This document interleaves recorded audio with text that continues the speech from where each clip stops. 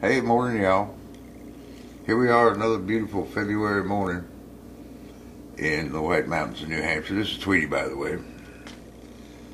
But this adventurous little squirrel decided he was fucking hungry, so he gonna clean the bird feeder out.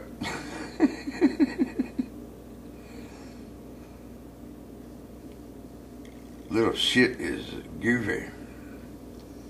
But by God, I think he's hungry.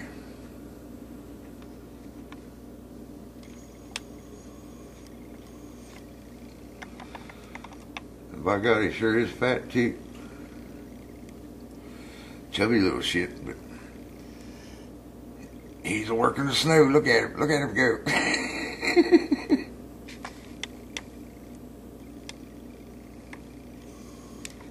he's in bad need for some sunflower seed.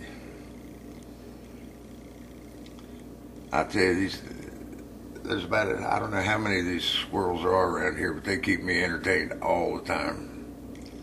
Down the pole he goes. Now you can't even see him in the snow down at the bottom.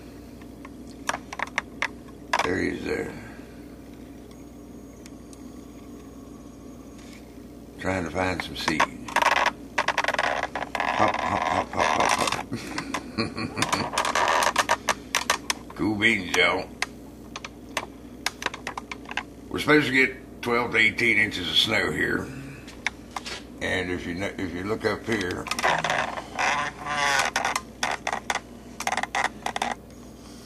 I've got a whole tree full of mourning doves wait, waiting out the storm in the maple tree.